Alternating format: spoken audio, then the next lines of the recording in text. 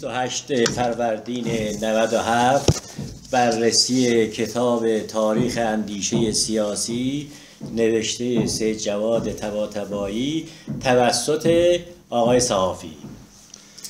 خیلی ممنون. ما قبل از اینکه به اصلاح دوستمون فرمودن وارد اون کتاب بشیم اون کتاب رو جلسه بعد شروع خواهیم کرد تاریخ اندیشه سیاسی در ایران. من امروز می‌خوام به دو تا مطلب اشاره کنم. یک چرا می‌خوایم تباتبایی بخونیم؟ دو تباتبایی چی می‌خواد بگه؟ یعنی اصلا حرف حسابش چیه؟ اینا رو باید ما بدونیم که تا اصلاح بتونیم که در برای برنامه ریزی کنیم برای آینده که چگونه پیش خواهیم. خب خیلی هم که وقتی به تعدادی از دوستان گفتم که من می‌خوام که کلاس تباتبایی بگذارم یه جوری به من خندیدن که در این وانفسایی که وجود داره خب؟ و این مشکلات فراوانی که در کشور ما وجود داره مثلا در همه عرصه ها تمام مسائل اقتصادی به هم ریخته. اون هشتا چالش بزرگ به دهم باز کرده و هر کدومش داره به یک مشکلی تبدیل میشه. مسائل سیاسی به این شکل در اومده در داخل. و به اضافه اینکه در منطقه با وجود کشورهای عربی که دست به دست اسرائیل و از اون طرف دست به دست ترامپ و آمریکا دادن و اوضاع سیاسی رو به این شکل در آوردن عوض اینکه شما بیاید اینها رو تحلیل کنید و بگید که در شرایط فعلی چیکار باید کرد می‌خواید برید فلسفه سیاسی بخونید که در گذشته از زمان خامنشیان تا امروز چه اتفاقی افتاده. و خب این در حقیقت دور شدن از اون اهداف دور شدن و حتی یکی غیر مستقیم به من گفت این در حقیقت دور کردن روشنفکران فعال از فضای زنده سیاسی از فضای زنده تفکر به یک جاهای خیلی به اصلاح دور و درازی است که امروز به درد ما نمی‌خوره. شاید هم حرفهای مهمی توش باشه ولی امروز به درد ما نمی‌خوره. من می‌خوام امروز به این مسئله اشاره کنم که اصلا اینجوری نیست. و چرا ضروریه که ما تباتبایی رو بخونیم؟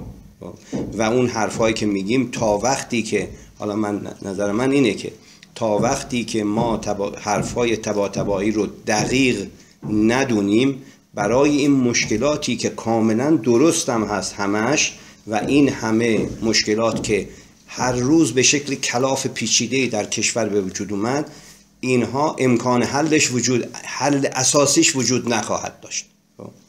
برای همینه که هنوز من معتقدم که بله در این وانفسایی که در عرصه های علم سیاست فلسفه سیاسی و فلسفه اقتصاد و علم اقتصاد وجود داره همچنان ضروری است که ما تباتبایی رو بخونیم. خب به خصوص که اشاره که کرده بودن مثلا فرض کنید که دو هفته بعد آقای ترامپ می‌خواد در مورد برجام که مهمترین قرارداد ما هست و سرنوشت کشور به لحاظ اقتصادی و سیاسی به اون بستگی داره بهتره که ما بگیم که در اون زمینه چه اتفاقی خواهد افتاد. و همچنان ارتباط این اگر برجام تمدید نشه توسط ترامپ در منطقه چه اتفاقی میفته و عوارض اون از نظر اقتصادی و سیاسی برای ما چگونه خواهد ولی به اصلاح با تمام این مشکلاتی که وجود داره تبایت خوندن لازم من اول تبایت رو یک خیلی کوتاه معرفی کنم و بعد بپردازم به اینکه چرا باید کتابهاشو خون. آقای دکتر سید جواد تباتبایی سید جواد تباتبایی در 1300 و به اصلاح 26 شمسی 24 24 شمسی در تبریز متولد شد. در خانواده تباتبایی ها که معمولا با علوم دینی و فلسفه و چیز سر همیشه سر و کار داشتن و خانواده بسیار اصیل و معروف ایرانی در تبریز بودن. ایشون اموش از اون به اصلاح افراد فرخته بود و در شکلگیری افکار ایشون بسیار مفید واقع بوده. از زمان دبیرستان مثلا فرض کنید که ایشون علاوه بر اینکه علوم, علوم معمولیه یعنی دبیرستان رو میخونده برای هم از یک سو می‌رفته کلاس زبان فرانسه که فرانسه بیاموزه و هم و هم اون وقتها فلسفه ای که درس می‌دادن توسط افرادی از حوزه و چند نفر از افراد معروف بودن که از اون حوزه تبریز اومده بودن بیرون خیلی علاقمند نبودن ولی به طور انفرادی درس می‌دادن و عموی به اصلاح آقای تباتبایی اینو برده اونجا که دبیرستان رو همراه با دبیرستان اونجا مثلا بحث های فلسفی اونها بوده و اونجا درس های مربوط به کسی که در حوزه بوده در حقیقت اونها رو یاد می گرفته و به اضافه عربی رو هم همونجا پیش اونها یاد گرفته. بعد خوب در عالم دبیرستان رو تموم می‌کنه میاد دانشکده حقوق و به اصلاح حقوق می‌خونه. البته اون وقت هم حقوق سیاسی بود و هم حقوق قضایی بود. ایشون یه بررسی می‌کنه فکر می‌کنه چون حقوق قضایی تو بورس بود حقوق قضایی می‌کنه از اونجا بعد از اینکه فارغ ولی همزمان در تمام دوره دانشجویی بسیار خارج از بحث های اون مثلا دروسی که در دانشکده تدریس بشد همچنان فعال بوده و خودش اصلاح وقتی نقل می‌کنه که پیش کیها می‌رفته مثلا هم هم متفکرین حوزوی هم متفکرین به اصلاح مکلا به پیششون می‌رفته و خارج از درس پیش اونها چیزا یاد می‌گیره. تا اینکه بعد از فارغ التحصیلی و گرفتن لیسانس برای ادامه تحصیل میره فرانسه و وارد دانشگاه سوربون میشه. چیزهای مختلفی رو شروع می‌کنه به مطالعه کردن ولی نهایت این که دو تا درس رو به طور جدی دنبال می‌کنه. یکی اون زمان یک درسی بود که برای ایشون آشنایی خیلی زیادی نبود, نبود به نام تاریخ اندیشه. خب؟ یعنی اون زمان هنوز تاریخ اندیشه در دانشکده های ایران تدریس نمی‌شد. از اون خوشش میاد چون یک استادی داشته که به اصلاح در تاریخ اندیشه درس می‌داده. از گفتن اون خوشش میاد و علاقمند میشه که این تاریخ اندیشه رو بخونه. و همچنین در عالم فلسفه علاقمند بحث های هگل میشه. بس همزمان در حقیقت بررسی می‌کنه تاریخ اندیشه رو و فلسفه هگل رو. بعدا به طور اتفاقی در مورد ایران این یک پیوندی بین این مسئله به اصلاح برقرار میشه که در ادامه صحبتان به اون اشاره خواهم کرد. بعدا توی کتابهاش هم اون مسئله رو ما خواهیم خوند.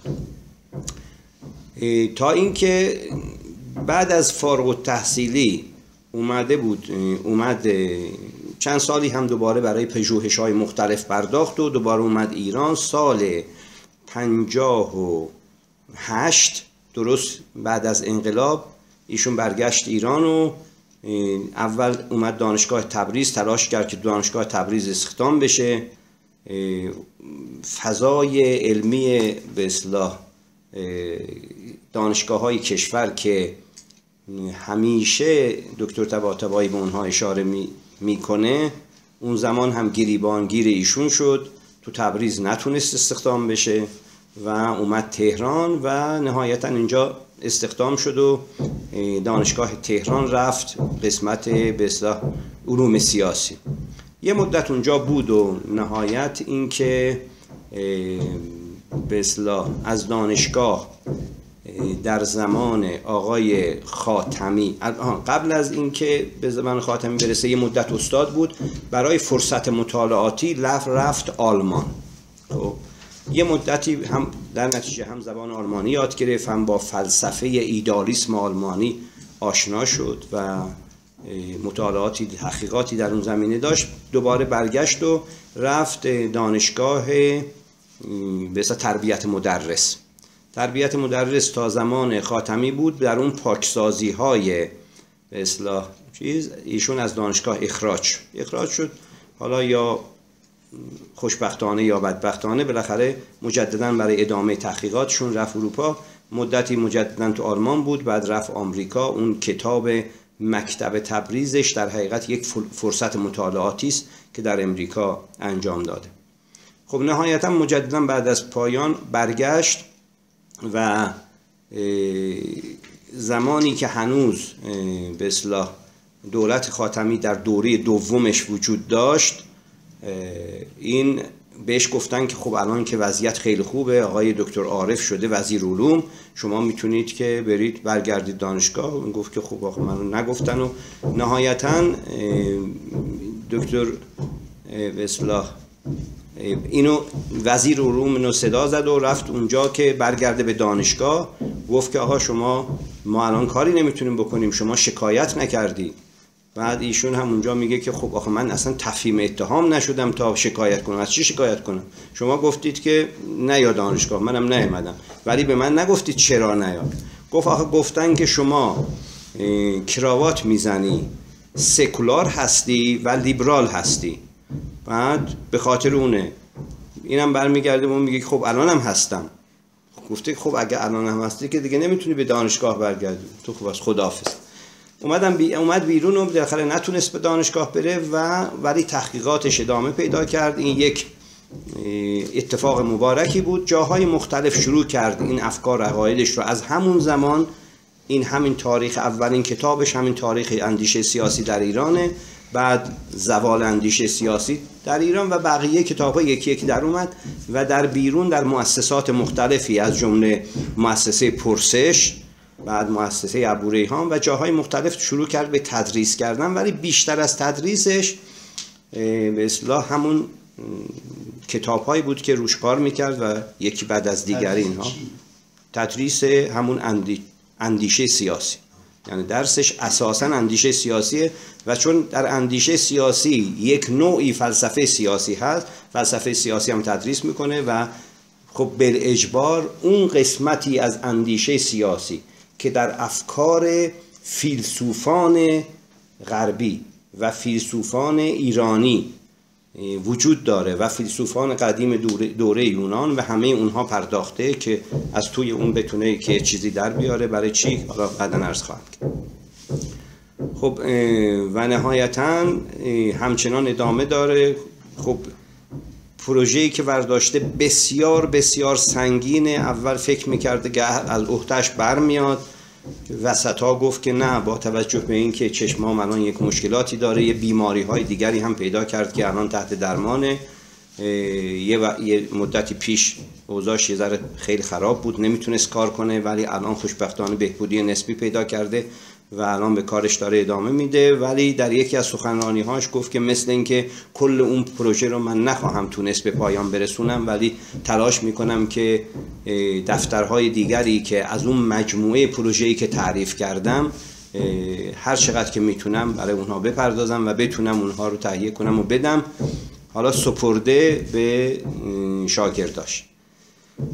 جای خود بسیار خوشبختی است این نکته رو بگم. از همون لحظه اول که تدریس رو در به این مؤسسات شروع کرد تعدادی از افراد متوجه شدن که به این کیه و چی داره میگه. از همون لحظه اول بهش چسبیدن و الان این مدت طولانی رو که ایشون تدریس می‌کرده همراهش بودن. از درون اونها تعدادی تربیت شدن که واقعا افراد بینظیری هستن. یعنی افرادی هستن که مثلا یکی از اونها رو بگم این هومن قاسمی نامی هست. حالا چرا اینو معرفی می‌کنم؟ چون می‌خوام کتابشو معرفی کنم. این هومن قاسمی وقتی که تبا تبایی اولین کلاسش رو شروع کرده بود حالا 15 16 سال شاید 20 سال پیش این دانشجوی سال دوم الکترونیک بوده. خیلی اصلا علاقمند به الکترونیک نبوده. میگه که خودش حالت میگه. میگه وقتی که من رفتم اولین جلسه به اصلاح تبا تبایی و این شروع کرد صحبت کردن به اصلاح من بلا فاصله فهمیدم که من اون چیزی که دنبالش بودم پیدا کردم. و در همیشه همون از همون لحظه الکترونیکی رو ترک تحصیل کرده گذاشته کنار. تو این فاصله انگلیسی و فرانسه بلد بوده تا اون وقت که اونجا می‌رفته. تو این فاصله عربی و آلمانی یاد گرفته و نهایتا با متون اصلیش. چند تا مقاله من از این دیده بودم خیلی تعجب می‌کردم که این کی هست. خب بعدا متوجه شدم که بله این از شاگردان دکتر طباطبایی تا اینکه یه کتابی ازش اومد بیرون. این کتاب هست روشنفکری به ایدولوژی و آگاهی کاذب. یعنی ایدولوژی آگاهی کاذب و روشنفکری. اسم کتاب چیه؟ مینوی خرد چاپ کرده. یه کتاب خیلی به اصلاح مفصلی هست. بسیار بسیار مشکله و چرا؟ به خاطر اینکه تماما متون فلسفی هست اصلی هست. و وقتی هم خودش از خودش پرسیدن که آقا اینقدر مشکل نوشتی ما نمی‌فهمیم. گفت من اینو برای شماها ننوشتم. مثال زد از هگل. گفت هگل وقتی می نوشت خیلی به اصلاح سخت می نوشت بهش گفتن چرا اینو سخت می نویسی گفت به خاطر اینکه من برای فیلسوفان می نویسم برای افراد عادی نمی نویسم خیلی ها هستن برای افراد معمولی کتاب می نویسن اگر شما می‌خواید برید اونو بخونید. من برای فیلسوفان کتاب می نویسم و باید بنویسم. خب منظورم که این هست ولی اگر بتونید که اون کتاب رو بخونید چند بار پنج بار شش بار ده بار ارزشش رو خوندید ارزش خوندنش رو داره. چرا؟ به خاطر اینکه تو این تمام اندیشه هایی که در مورد تئوری ایران تئوریسین های ایرانی هست به اون پرداخته با اتکا به متون اصلی که اونها به, به اونها استناد کردن. مثلا فردید که در حقیقت مراد تعداد کثیری از این اندیشمندان ماست دکتر فردید مثلا فرض کنید که اون افرادی که ازش تأثیر گرفتن شریعتی هست افرادی که ازش آل احمد هست و اینها متفکران دوره ما هستند و در حقیقت انقلاب اسلامی توسط تفکر اونها به بار نشست و پرداخته به فردید تو همون کتاب هومن قاسم. خب من دیگه خیلی اون رفت نگم بریم برگردم دوباره به تبا تعداد کثیری از این افراد رو تربیت کرده و این استخوانبندی تاریخ اندیشه آینده ما رو این افراد تشکیل خواهند داد بعد از اینکه تباتبایی در دسترس نباشه. در آینده که الان امیدواریم که ایشون طول عمر زیادی داشته باشه و بتونه اون هر چقدر که می‌تونه از اون پروژه هایی که داره جلو ببره. به اصلاح من تصور می‌کنم که با اینکه در دانشگاه نبوده دکتر تباتبایی اثری که گذاشته روی افرادی که تربیت کرده و روی آثاری که از خودش منتشر کرده تأثیر گذارترین فرد در مورد تاریخ اندیشه به اصلاح فلسفه سیاسی در ایران هست. حالا ما وقتی که آثارش بخونیم به جزئیات این مسئله پی خواهیم برد که چرا من همچی ادعایی رو می‌کنم. آقای دکتر غنی نژاد یک حرف بسیار جالبی می‌زد. می‌گفت که اون مدام تعقیب می‌کنه. آثار این رو گفت که دوستی خیلی نزدیکی با هم دارن. می‌گفت که کاری که دکتر تباتبایی انجام میده تو غرب واقعا با 150 نفر تیم میشه انجام داد. خب؟ که این یک تنه داره انجام میده و داره یه جوری خودکشی می‌کنه. این همه به اصلاح انرژی که در این زمینه می‌ذاره و این شاگردانی که اصلا درست الان یک کمک هایی براش می‌کنن ولی اون سیستماتیک چیزی که چون ایشون هم فارغ التحصیل دانشگاه سوربن هست میگه که این نوع پروژه ها رو در دانشگاه سوربن تعداد کثیری دست به دست هم میدن هر کدوم یه گوشه ای رو برمیدارن و انجام میدن و تبا تبایی اون زمانی که شروع کرده بود فرد مناسبی رو برای این کار پیدا نکرد برای همین به تنهایی شروع کرد و الان این افراد اضافه شدن. خب منظورم این که خب بس این چند تا جمله بود در مورد تبا حالا اگر مسائل دیگری هم ضمن خوندن کتابهاش بشه من خدمتون عرض خواهم کرد.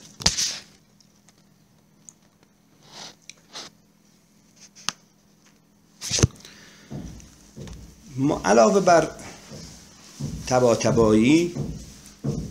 تعداد اندیشمند دیگری هستند که در مورد ایران تئوری دارند. یعنی اینکه بگن که اصلا ایران ما اول می‌خوایم بگیم که اصلا این ایران چیه؟ مشکلاتش چی هست؟ و در نتیجه با کدوم تئوری ها میشه این مشکلات ایران رو حل کرد؟ خب. تعدادی از اینها مثلا مثل فردید که تئوری پرداز در حقیقت انقلاب اسلامی بود در مفهوم مراد اصلی است که شاگردان اون مثل شریعتی و آل احمد و دیگرانی هست بودن این کار انجام دادن که به اصلاح و یا اینکه گروهی هستن اینها رو دستبندی می‌کنن به اصطلاحی که هست به نام آنچه خود داشت. حالا این آنچه خود داشت برگرفته از یک بیت حافظ هست که سالها دل طلب جام جم از ما می کرد آنچه خود داشت زبیگانه تمنا می کرد خب اینو خیلی روش فکر کنید این این بیت رو سالها دل طلب جام جم ما می‌کرد. جام جر در طول تاریخ به چه معروفه؟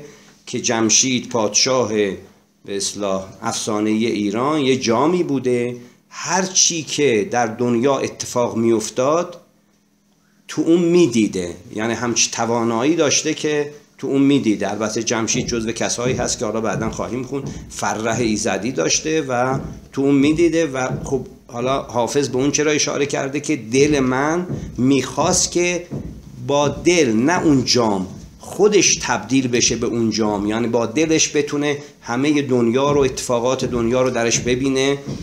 پس سالها دل طلب جام جم از ما می‌کرد آنچه خود داشت ز بیگانه تمنا می‌کرد. یعنی اینکه حافظ میگه که در حقیقت دل من اون جام جم رو داشت ولی تصور می‌کرد که بره با از بیگانه اونو بگیره. خب افرادی از درون این کسایی که در مورد ایران می‌خوان تئوری بدن تعدادی هستن که به این میگن که ما همون حرفی که مثلا ساده شده و دفرمه شدهش رو نه فلسفیش رو. آل احمد مطرح می‌کرد. ما همه چی رو داریم ما برای مدرن شدن هیچ فکری لازم نیست از خارج بیاریم. ما همه این رو داریم. کافیه که ما مدرنیزه بشیم. نه مدرن بشیم مدرنیزه بشیم. یعنی که تجهیزات مدرن رو از خارج بیاریم فکر لازم رو ما اینجا داریم. اگر اینها رو با هم ادغام کنیم فکر مدرن در غرب هست مختص غربی هاست. ما اینو بیاریم اینجا موجب فساد میشه. یعنی فکر مدرن. پس در نتیجه ما باید تجهیزات مدرن رو بیاریم.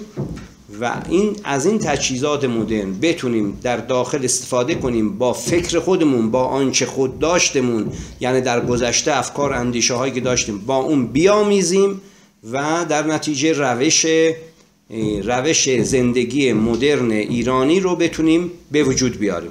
خب؟ این فقط آقای به چیز نبود. شریعتی هم یک نوعی از این حرف رو می‌زد. یعنی اینکه ما در اسلام این همه پرداخته کتاب های متعددی که وجود داشته در اسلام همه اینها حل و فصل شده. از سوسیالیسم تا به اصلاح تئوری فلسفه سارت همه اینها در اینجا وجود داره. پس در نتیجه باز هم ما اگر اون تجهیزات رو بیاریم میشه میشه که در اینجا با اون تجهیزاتی که وارد می‌کنیم زندگی مدرن رو در کشور به وجود آورد. خب. افراد دیگری مثل مثلا فرض کنید که در عرصه فلسفه مثل نصر مثلا پروفسور نصر که الان توی امریکا زندگی می‌کنه ایشون هم میگه که در سنت ما یعنی بازگشت به سنت اشکالاتی که در کشور ما وجود داره به خاطر ترک سنته ما اگر برگردیم و همه سنت رو با تمام اجزاش به کار بگیریم امکان این که بتونیم به احساس زندگی سعادتمندی. حالا این کلمه سعادتمند رو خاطرتون باشه بعدا با این خیلی کار داریم. سعادتمندی می‌تونیم داشته باشیم و در این حال از تجهیزاتش استفاده کنیم. در تبایی در نقد آقای به اصلاح نصر گفت که ایشون وقتی که یه ذره سینهشون درد می‌گیره برای اینکه برن به اصطلاح بیمارستان بیمارستان معمولی رو انتخاب نمی‌کنن. میرن کلینیک جان هاپکینز. ولی وقتی که به اصطلاح برای ایرانی ها هست سیستم به سنتی رو تجویز می‌کنن که شما برگردید به تمام سنت های قدیمی. حالا اون زمانی که عصبانی بود طباطبایی این حرف رو گفته ولی منظورم اینه که ایشون تجویزش نصر تجویزش به همون بازم شاخه ای از آن آنچه خود داشته که ما برگردیم به سنت. یا اینکه مثلا یکی از این نظر پردازهای دیگر البته از آنچه خود داشت هنوز کسایی هستند در عرصه جامعه شناسی. اون جامعه شناسی دفتر فرح کی بود؟ اسمش یادم رفت. ایشون هم از اونهایی بود که هدفش این بود که ما می‌تونیم برگردیم به سنت و با داشتن این اندیشه ها می‌تونیم تجهیزات مدرن رو وارد کنیم و هر کدوم با یک زاویه این مسئله رو تشریح می‌کردن. آقای دکتر عبدالکریم سروش ایشون هم یکی از نظریه پرداز ایرانی هست. ایشون میگه که برای بازم برای سعادتمند شدن نه جامعه باید ما برگردیم به عرفان ایرانی و با قناعتی که پیشه می‌کنیم تا جایی که لازمه از تجهیزات مدرن استفاده کنیم ولی اندیشه ما باید به اندیشه مولانا برگرده و در حقیقت راه نجات ما کنده شدن از مادیات و مصرف جهانی دنیوی و پرداختن به نه اخروی بلکه حتی زندگی معنوی است. این این حرف توسط آقای ملکیان هم این اواخر مدام داره تکرار میشه. خب اینها نظریه پرداز خلاصه خیلی کوتاهی از نظریه پردازی اگر می‌خواید به اینها یکی مون اونم که خیلی مهمه باید اشاره کنم. پس آخرین نفر رو می‌خوام بگم آرامش دوستداره آرامش دوستدار نظریه پردازی که در مورد ایران داره ضد مذهب بودنه. میگه که تمام به اصلاح بدبختی هایی که انسان انسان ایرانی داره به خاطر تفکرات دینی هست و همه اینها رو پرداخته و میگه که برای همین تو عرصه سیاسی و اندیشهی ما دیگه کسی بروز نکرده و اون زوال اندیشهی که و انحطاط تاریخی که در حقیقت دکتر تباتبایی هم از این مفاهیم استفاده می‌کنه باعث شده در حقیقت مذهب باعث این انحطاط و زوال اندیشه شده و ما هیچ راه حلی وجود نداریم تا اینکه کلیه ارکان مذهبی رو کنار بگذاریم و برسیم به اندیشه های غیر مذهبی. حالا اینها اگر بخواهید که در مورد اینها بخونید بهتر همون ایدولوژی و آگاهی کاذب هومن قاسمی رو به طور گسترده به اینها پرداخته و نقدی که از این متفکرین کرده هم از سروش و هم از افرادی که همه گفتم. دقیقا پایه های سست فلسفی اینها رو با اتکا به فلسفه غرب اینها رو نشون داده و مهمتر از همه همون حرف تبا تبایی رو زده که این همه این حرف ها ایدئولوژی مضاعفه. یعنی اینکه این حرف ها در غرب زده شده اینا هیچ کدوم پایه ایرانی نداره. این حرف در غرب زده شده و اینها با سس ایرانی اینو به خورد ما دارن میدن. در ضمن به کتابهاش ما با این مفاهیم و با این اندیشه های تباتبای آشنا خواهیم شد. خب این در حقیقت به اصلاح یک بخش دیگری که تئوری های رقیب چرا در مقابل تئوری های رقیب که اینها هستن ما باید تئوری تباتبایی رو بخونیم؟ به خاطر اینکه در ضمن جلوتر که میریم جزئیات بیشتری خواهم گفت. به خاطر اینکه تباتبایی معتقد هست که مدرنیته یک سبک زندگی جدید و گریزی به حدی این یک فضای مغناطیسی بزرگی از زمان پیدایشش به وجود آورده که بدون امکان نداری که جامعه نخواد در درون اون میدان مغناطیسی جذب نشه. ولی ولی اینجوری نیست که با ایدولوژی یا با مدرنیزاسیون بشه در داخل این میدان مغناطیسی شد. بلکه یک روش های دیگری وجود داره که اصلا همه تئوری های تباتبایی مربوط به اینه که ما چگونه می‌تونیم در درون مدرنیته جذب بشیم. چرا تاکنون نتونستیم؟ چرا این همه ما تلاش کردیم؟ نتونستیم وارد مدرنیته بشیم. افکار مدرن چرا در ایران رشد پیدا نکرده؟ خب یعنی کل ماجرای به حرف های تبا همین موضوع هست. چه چگونه شد که وقتی که افرادی گرایش پیدا کردن که اندیشه های مدرن رو یاد بگیرن ولی همه با شکست مواجه شدن نتونستن.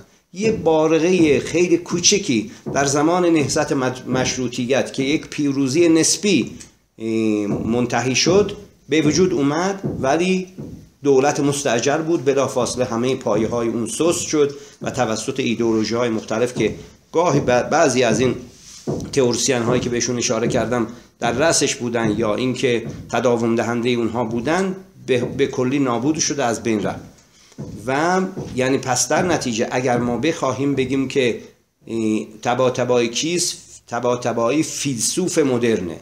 یعنی که اعتقاد داره که جاذبه ای که دنیای مدرن وجود داره براش این جاذبه ترک کردنی نیست. یعنی اینکه اجبارا همه جوامع به اون طرف دارن سوق میدن. ولی هر کسی با روش و اندیشه سیاسی خودش می‌تونه وارد این دنیای مدرن بشه. و ما خب حالا بعدا ما باید چیکار کنیم که بتونیم وارد این دنیای مدرن بشیم؟ ما نمی‌تونیم با این ایدولوژی ها وارد دنیای مدرن بشیم. اگر با این ایدولوژی ها می‌شد تا حالا می‌شد.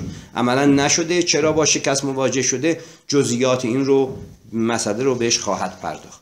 پس در نتیجه برخلاف سنتگراهایی که مثلا در مورد از, از سروش میشه نام برد از نصر میشه نام برد از کسایی که غیر مستقیم به سنت اشاره کردم مثل مثلا جلال آل احمد اینها رو مطلقا قبول نداره. اصلا قبول نداره که اونها سنتی هستن. حالا در مورد سنت نظر خودش رو خواهد گفت. بلکه اونها معتقدی که ظاهر اونها سنتیه ولی یعنی یعنی سس سنتی دارن. در حقیقت همه اینها رو در غرب آموختن. منتها وقتی که در غرب می‌خواستن بیاموزن افکار مدرن رو یاد نگرفتن. اون تالی فاسدش رو به اصلاح بهش پرداختن یعنی ایدولوژیش رو یاد گرفتن. خواستن اون ایدولوژی رو بیارن تو ایران بهش سس ایرانی بزنن و به خورد مردم بدن که این هم شدنی نیست.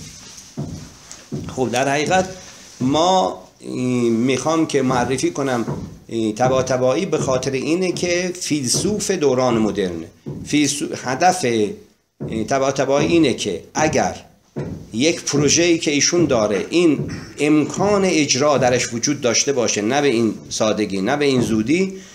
از اون طریق میشه که ایران وارد جامعه مدرن بشه و اون مدرنیته می‌تونه پایدار باشه. خب من این بحث رو رها می‌کنم اینجا. میرم از یک زاویه دیگه وارد میشم که چرا ما تبا رو باید بخونیم.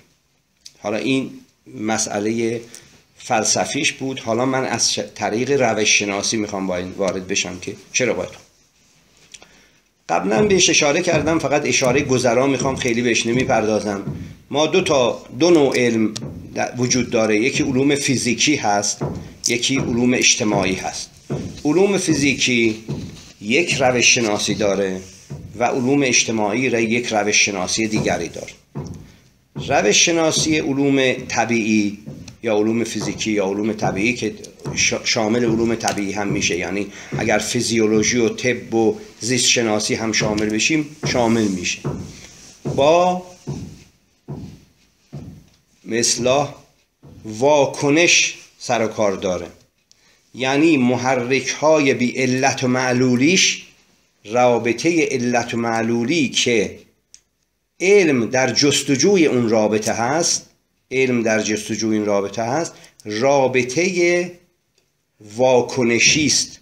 شما یک محرکی رو در عالم فیزیک یا عالم طبیعی یا عالم زیست شناسی وارد می کنید و عکس عملی از به اصلاح اون مخاطب محرکتون دریافت می کنید وقتی که اونو دریافت می کنید یعنی این به واکنشی نسبت به اون محرک نشون میده. علوم طبیعی این واکنش ها رو بررسی می‌کنه. حتی این در مورد حیوانات هم که از یک شعور نسبی برخوردار هم هستن صادقه. چرا؟ به خاطر اینکه اون شعور ناشی از غریزه است. خب ما به این مسئله حالا باز برمیگردم. ولی به هر حال ناشی از غریزه است. پس غریزه هم نوعی واکنشه. خب؟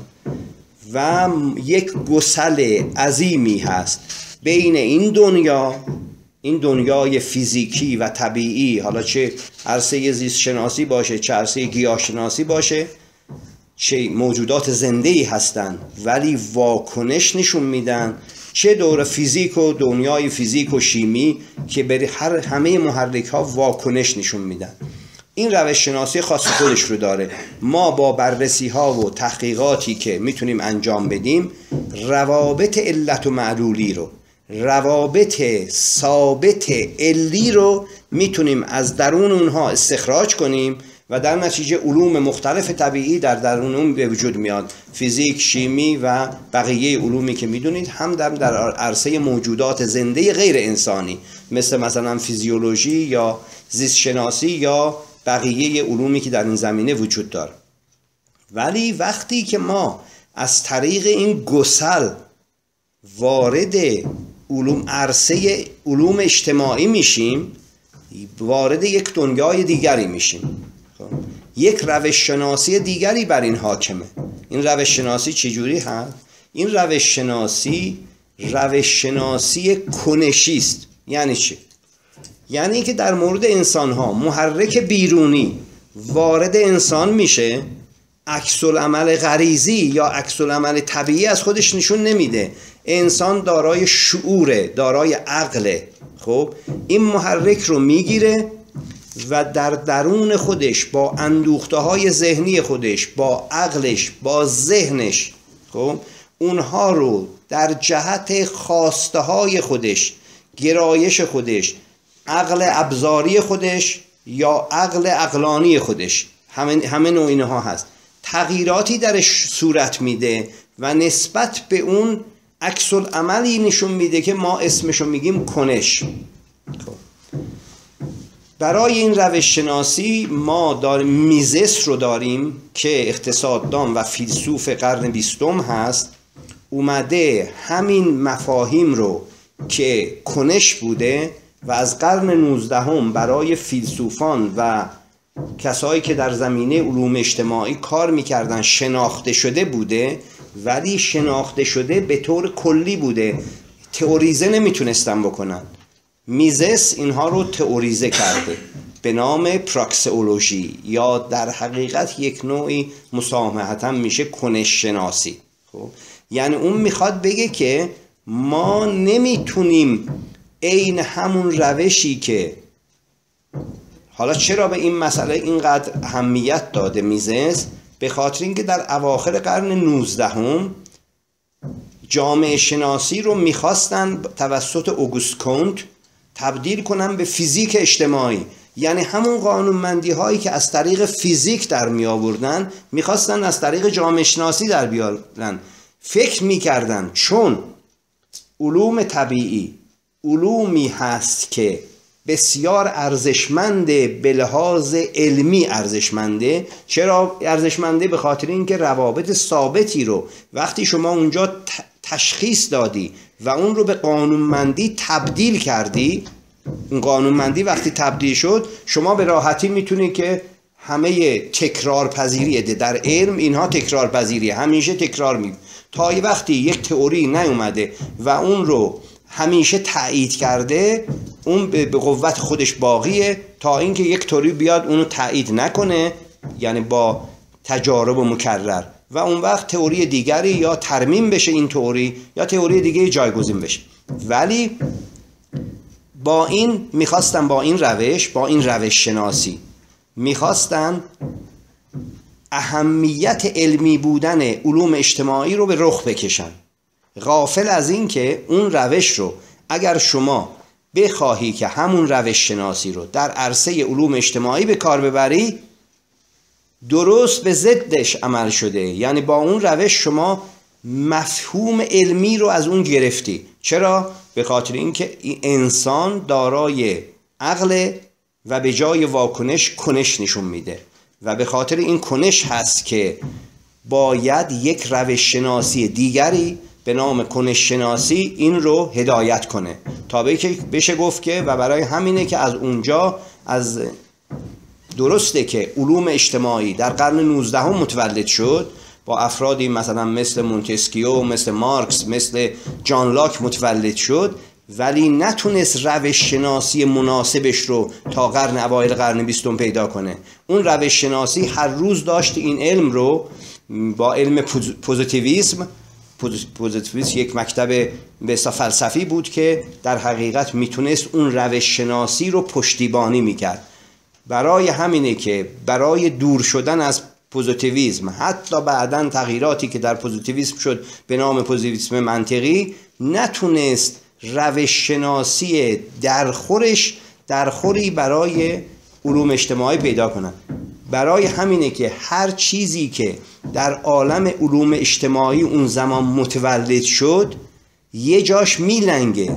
یعنی نمی‌تونه دقیقا اون مسائلی که اونجا هست اونو بیان کنه. برای همینه که از درون اون علمی که باید می‌تونست همون معجزه های انقلاب صنعتی رو تکنولوژی رو ازش بیرون بده در علوم اجتماعی این اتفاق وجود به وجود نیومد. شاید ریشه های این مسئله که چگونه می‌تونستن سیاستمداران مدرنیته رو در قرن بیستم به دو تا جنگ بزرگ بکشونن به علت نبودن این روش شناسی مناسب در علوم اجتماعی به این مسئله خیلی عمیق فکر کنید.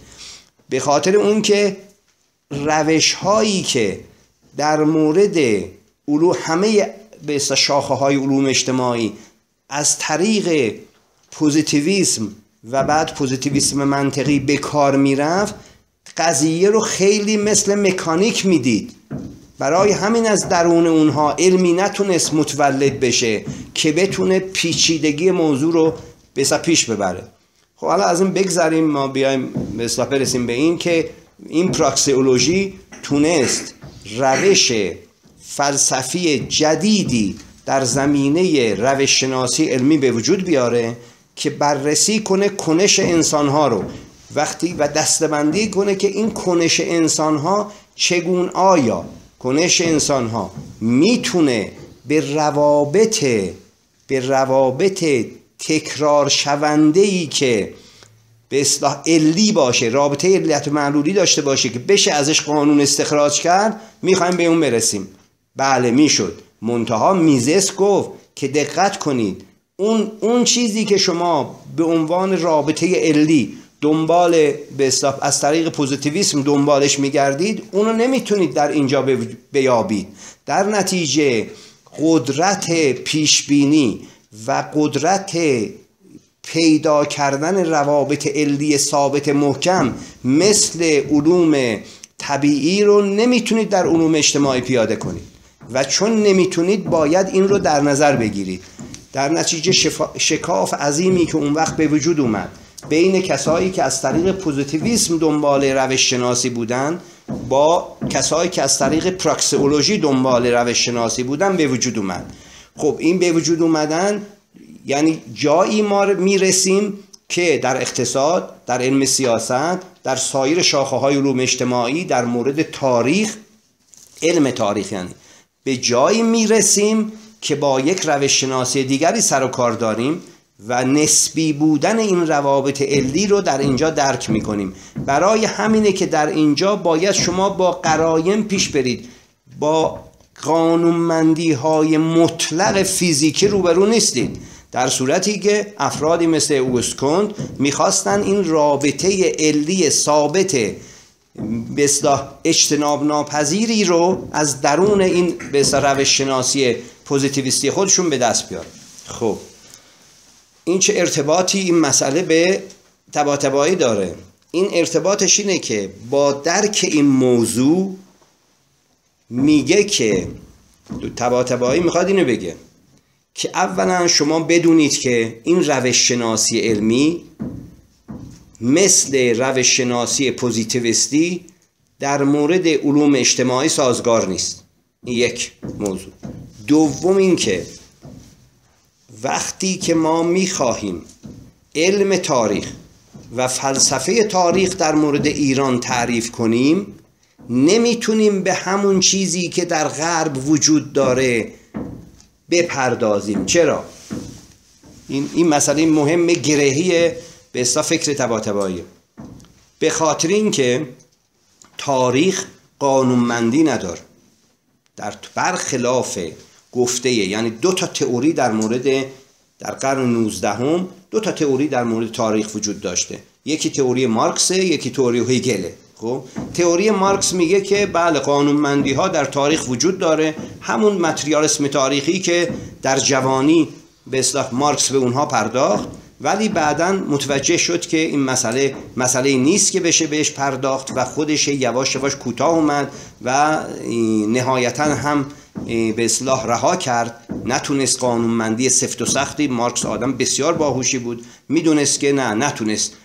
اومد روی شیوه تولید آسیایی بحث کرد و اون به علت اینکه اولین کتاب فارسی که براش فرستاده بودن کتاب بسیار مشکل روزت و صفا بود که خود ایرانی ها هم اصلا نمی‌تونن اونو بخونن دیگه منصرف شد از یادگیری به اصلاح فارسی و بر نتیجه رها کردینو ولی در مورد تئوری دوم تاریخ تئوری هگلیه.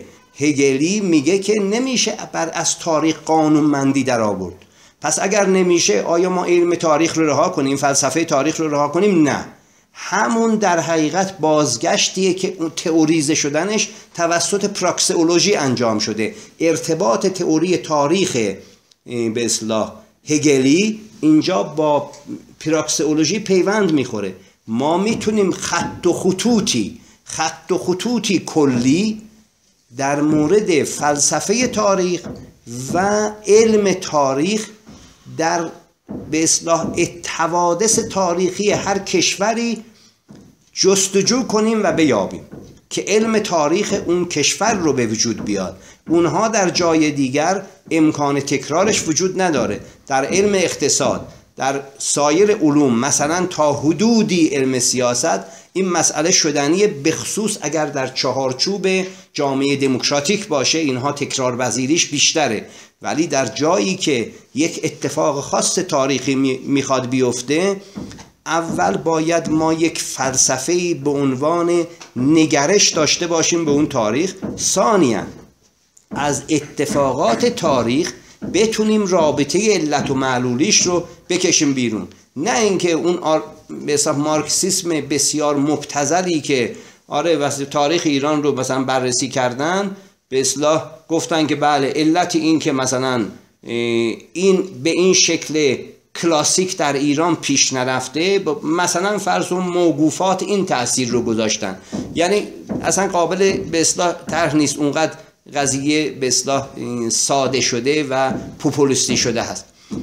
ولی خب از اون طرف هم دکتر تبا تبایی معتقد هست که هنوز تاریخ ایران نوشته نشده خب هر چی که تاریخ ایران گفته میشه در حقیقت بازگو کردن حوادث تاریخیه. بازگو کردن حوادث تاریخی. تا فلسفه ای از تاریخ نداشته باشی. تا علمی از اون روابط علی نتونی استخراج کنی علم تاریخ هنوز به وجود نمیاد. یعنی که شما ما بدونیم که مثلا وقتی نادر حمله کرد به هندوستان چند نفر کشته شد چند تن طلا با خودش آورد چه مقداری مثلا به اصلاح جواهرات با خودش حمل کرد یا اینکه مثلا فرض کنید که فتلی شاه مثلا 400 تا زن داشت در حرم سراش آیا چه ترکیب ملیتی و قومی اینها داشتن؟ اینها اطلاعات داشتن هر گونه اطلاعات از نداشتنش بهتره. ولی بدونیم اطلاعات. تا وقتی که از درون اینها روابط علی بر اساس یک فلسفه که برای این کار تدوین میشه به وجود نیاد امکان این که ما بتونیم به اون علم تاریخ برسیم وجود نداره و فقط دکتر تباتبایی معتقد هست. گوشه هایی از این گوشه های از این علم رو فقط تونسته آدمیت به اصلاح در ایران برای دوره مشروطیت بهش اشاره کنه متاسفانه پی... کسایی نبودن که اونو پیگیری کنن و در نتیجه نتونستن علم تاریخ ایرانی که معتقد هست که برای رسیدن به این علم. اولا تاریخ پایه‌ای لازمه. اون تاریخ پایه‌ای رو تعریف کرده. به اضافه تاریخ جامعه لازمه اون هم تعریف کرده. میگه که از زمان بیهقی بر اساس فلسفه ایرانی ابو نصر فارابی که مختص فلسفه مختص ایران بود و بر اساس اون فلسفه فلسفه تاریخ توسط بیهقی بنیانگذاری شده بعدا به علت و نوشته هایی که ایشون داره در حقیقت روابط علی دوران زرین فرهنگی رو مشخص می‌کنه ولی با توجه به اینکه زوال اندیشه بعدا صورت گرفته اونو جزئیاتش رو خواهد گفت که یکی از مهمترین کتاب های تباتبایی همون زوال اندیشه سیاسی در ایران هست و برای همین که دیگه اون سلسله تاریخ درسته که توسط تاریخ مسعودی یا عطاملک جوینی دوباره پیگیری شده ولی از زمان مغول به اینور به کلی با منحط شدن جامعه و با زوال اندیشه از بین رفته. بعدا هم که کاری که آدمیت شروع کرده به جایی نرسیده. بقیه کسایی که تاریخ نویسی کردن در حقیقت بازگو کردن حوادث کردن. این بازگو کردن حوادث با هر جزئیاتی صورت بگیره امکان این که بتونه از درونش یک علم در بیاد و یک فلسفه در بیاد مقدور نیست. اینها رو در حقیقت شرح خواهد داد توی چیز. خب؟ و به اضافه این که تا زمانی که این علم به وجود نیومده و متولد نشده ما در مورد بقیه مسائلی که در مورد مشکل ایران وجود داره ما نمی‌تونیم در موردش صحبت کنیم.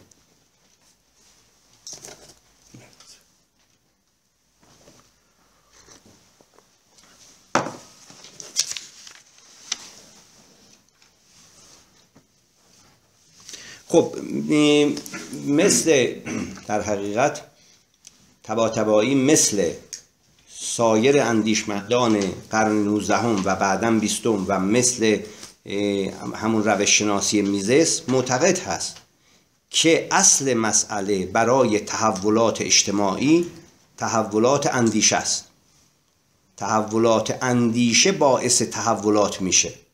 یعنی این یک مسئله خیلی اون به اصلاح داستان دعوای بین فیلسوفان علم در دعوا بین فیلسوفانه که بالاخره اول مرغ بوده یا تخم مرغ تبا تبایی جزو کسایی هست که میگه که به علت کنش انسانی اول مسائل در اندیشه صورت می‌گیره و اون تحولات اندیشه باعث عملکرد تاریخی افراد میشه. پس در نتیجه تحولات اندیشه اولویت داره بر تحولات بعدی یعنی هر گونه تحولات. برای همینه خودش متخصص تاریخ اندیشه هست و در تاریخ اندیشه تحولات اندیشه رو بررسی می‌کنه. خب و معتقد هست که برخلاف تصور کسایی که تاریخ اندیشه تاریخ ایران رو به بدون توجه به تحولات اندیشه بررسی کردن بدون اینها امکان تحلیل دقیق وجود نداره. چرا؟ به خاطر اینکه اونها حوادث تاریخی رو علت العلل این تحولات دونستن. میگن که مثلا چگونه شد که دولت به به اون گستردگی و به اون محکمی صفوی ها در دوره شاه عباس با چند هزار نفر از افغانان که بخشی از ایران بودن از بیگانه نبودن بخشی اون زمان بخشی از ایران بودن چگونه اونا تونستن بیان بدون تجهیزات بدون فکر بدون تئوری فرمان روایی بتونن بیان امپراتوری عظیم دوران صفوی رو به اصلاح از هم نابود کنن؟ اینها حوادث این اینها رو نباید حادثه تلقی کرد. پس چی بوده؟ ایشون میگه که قبل از هر گونه اینجوری تحولات اول زوال اندیشه صورت گرفته. تحولاتی در فکر صورت گرفته. اونها رو ریشه یابی کرده که چه گونه تحولات بوده. و با مستندات خیلی بسیار که کتابشناسی هر کدوم از این کتاب ها مقدار خیلی خیلی تعداد کثیری از منابع هست. و اینکه اون تحولات اندیشه باعث انحطاطی شده انحطاط تاریخی شده که منتهی به اون اتفاقات شده. ما نمی‌تونیم بیایم بگیم که اون اتفاقات باعث خود اون اتفاقات باعث این فروپاشیه.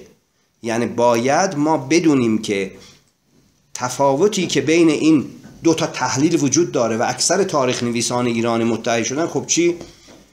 مغول به ایران حمله کردن و همه چی رو نابود کردن خب باید پرسید که چرا تونستن یک تمدن بسیار جا افتاده ای که تسلط کامل به منطقه داشت چگونه تونستن مغول بیان با اون تجهیزات سادهشون؟ در زمان حمله مغول ها نیشابور بزرگترین شهر دنیا بود.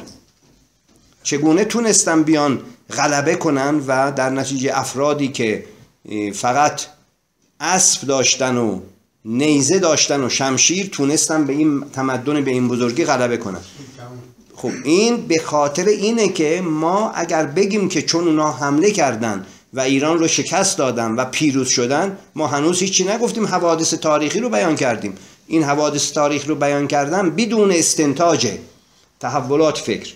بدون استنتاج اتفاقاتی که در به عنوان انحطاط تاریخی صورت می‌گیره که این اتفاقات معلول اون علت هاست. نه علت خود خود علت ها با علت اون حوادثه. معلول این علت ها ما با نشاندن معلول به جای معلول. و یا معلول به جای علت راه به بیراهه می‌بریم نمی‌تونیم به یک نتیجه برسیم.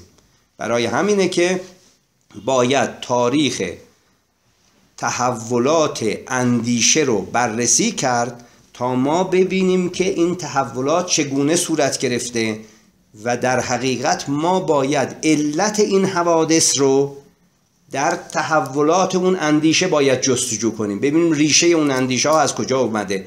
اگر به اصلاح تحولاتی در جهت مثبت در جهت ارتقاء اندیشه و به اصلاح فلسفه صورت گرفته از کجا بوده؟ و یا اگر زوالی در اندیشه به وجود اومده ناشی از کجا بوده؟ تو تحولات فکر از کجا نشأت گرفته و باعث این تحولات شد.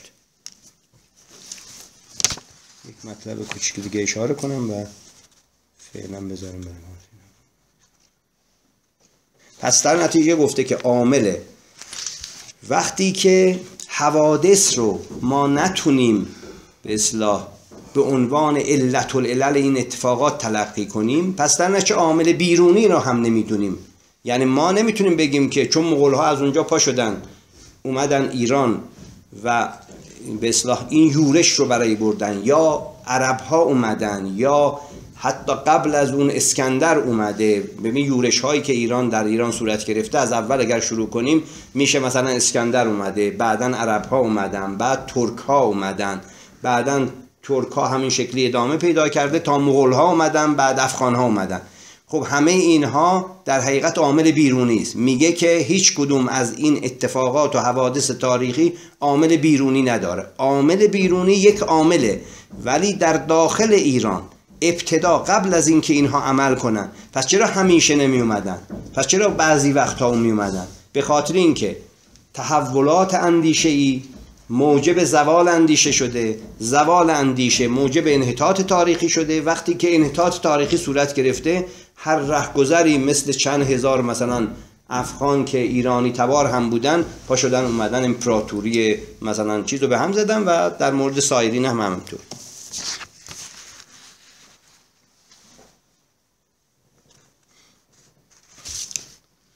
خب میگه که از روی بررسی اینها می‌خواد به این نتیجه بالاخره همه اینها گفتنش برای چی هست میگه که حرکت ایران به سوی مدرنیته از آغاز از آغازی که اندیشه مدرن در اروپا شروع شد کی ایرانی ها متوجه شدن که در دنیای تغییراتی رخ داده خب. و کی و کی به این فکر افتادن که با این موضوع جدید چگونه باید برخورد کرد. از زمان صفوی ها اندیشه مدرن در به اصلاح اروپا نوز پیدا کرد. خب تباتبایی معتقد هست که تا وقتی که این اندیشه مدرن رو ما ریشه یابی نکنیم نبینیم از کجا اومده. نبینیم ریشش چی هست. اصلا ما از مدرنیته نمی‌تونیم اطلاع پیدا کنیم. اولین جلد مجموعه نه جلدی تباتبایی برای تاریخ اندیشه اروپا اولینش جدال قدیم و جدید. جدال قدیم و جدید یعنی در حقیقت از قرن دهم از قرن دهم میلادی تحولات اندیشه در اروپا رو شروع می‌کنه. اندیشه مدرن طبق متفکرین گفته متفکران اروپایی که در حقیقت تباتبایی هم از اونها نقل می‌کنه از درون مسیحیت برخواسته. ولی اینجوری نیست که خلق و سائه برخواسته باشه. اینجوری نیست که فرض کنید که در درون مسیحیت یک, یک شب یه روز یک موضوعی رو می‌گفتن فردا یک موضوع دیگری رو گفتن. ذره ذره از قرون هفت به تدریج به تدریج ذره ذره هر کسی اومده یک بدعت یک کلمه جدیدی رو در درون مسیحیت به وجود آورده. اون منشأ یک به اصلاح تحول فکری شده و به تدریج به تدریج به تدریج قرنها طول کشیده از درون مسیحیتی که روحانیت چهارچوبش بود. یعنی اینکه همون موضوع یک بار عرض کردم که وقتی که مسیح گفت که همراهان من با من بیان ولی هیچ تعلقات دنیوی رو با خودشون نیارن چون اگر بیارن دچار عذاب خواهند شد. یک نفر بهش یکی از هواریون گفت که من یک جام دارم که با این آب می‌خورم. گفت که نه با به اصطلاح کف دو تا و چسبوندن کف دو هستم میشه آب خورد.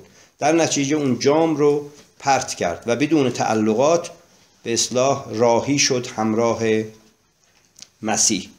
شما فکر کنید که از درون همچی دینی که دین دنیوی نبود بلکه دین اخروی بود باید به تدریج تحولات اساسی درش صورت گرفته باشه که تا از درونش بتونه تحولات فکری انقلاب انقلاب فکری به وجود بیاره و در نتیجه تفکر نوین به تدریج از اون متولد بشه تا بعدها ما از درون همون تحولات فکری پروتستان رو داشته باشیم که میگن کار کردن و ثروت افزایی عبادته. از زمانی که مسیح فقط یک جام رو به اصلاح تقبیح می‌کرد همچی روحانیتی همچی به اصلاح دوری از مادیات دنیوی تا اینکه در پروتستان تبدیل بشه به اندوختن ثروت به عنوان عبادت. خب همچی فضایی در همچی فضایی رو چه تحولاتی رخ داده؟ حالا چرا تباتبایی میگه که این هست؟ و این چه ارتباطی به ما داره؟ اونجا اتفاق افتاده. میگه آیا میشه اونو پیاده کرد؟ نه. نمیشه. خب از نمیشه به چه درد ما می‌خوره اون تحولات؟ برای چی می‌خواهی که نه جلد کتاب هزار صفحه‌ای در مورد تحولات اندیشه به غرب بنویسی؟ میگه به خاطر اینکه اگر ما تاریخ مدرنیته رو نفهمیم از این فضای جذاب به مینان مغناطیسی قدرتمندی که به وجود اومده و داره همه کشورها رو به خودش جذب کنه ما به سلامت نخواهیم درست در میدان مغناطیسی قرار بگیریم و علت این که تا حالا نتونستیم قرار بگیریم به انواع اقسام چاه های ایدولوژی افتادیم به خاطر عدم درک اون تاریخ اندیشه است. پس در نتیجه ما در مورد ایران نه تنها کارهای بزرگی باید انجام بدیم تاریخ اندیشه به اصلاح اروپایی رو که منتهی به افکار مدرن شده هم به دقت و با تمام جزئیاتش باید بدونیم برای همینه که تبا در ایران اولین نفری که تاریخ اندیشه غربی رو نمیاد از رونسانس آغاز کنه بلکه از تحولات درونی قرن هفتم در درون مسیحیت آغاز می‌کنه و میاد به تدریج به تدریج تا برسه از قرن دهم که تحولات یه ذره شتاب بیشتری می‌گیره و تا رونسانس. تا به رونسانس برسه در حقیقت تبا تبایی حداقل یک 700 800 صفحه‌ای در مورد اون تحولات قبل از رونسانس در این زمینه نوشته. یه ذره استراحت کنیم دوباره بخشید ممنونم